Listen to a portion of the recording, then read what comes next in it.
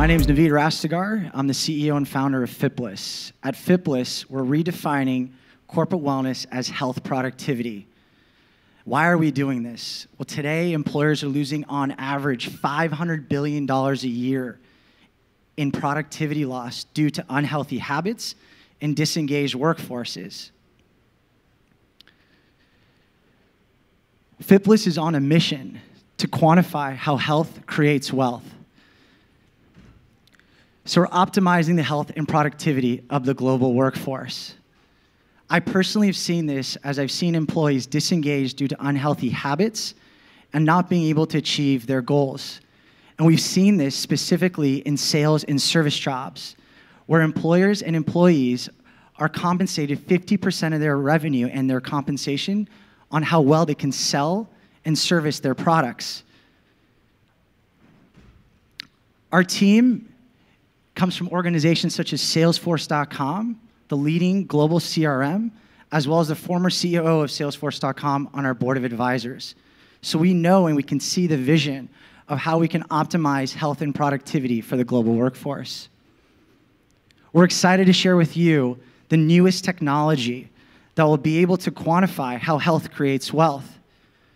Fitbliss is a B2B SaaS application that plugs into Salesforce, pulls your wearable data, puts it alongside a CRM KPI like sales and service, and creates an outcome that's relevant to what the personal employee cares about, which is their careers, and again, 50% of their structure of payment, their revenue and sales goals. Pretty creative. Our approach is very unique. What's unique about it is that we quantify corporate wellness as a measurable productivity KPI because we understand what employees care about.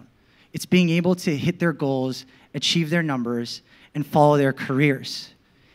And what our technology can do is provide personalized health recommendations directly inside the user experience that'll help them get closer to hitting their health and productivity goals, all within Salesforce and expanding to other CRMs in the marketplace.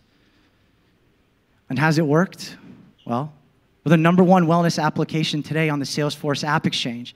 We just 10xed our revenue last year, and we just signed Salesforce.com as a customer for a global rollout to 32,000 global employees, getting us closer to the mission of optimizing health and productivity.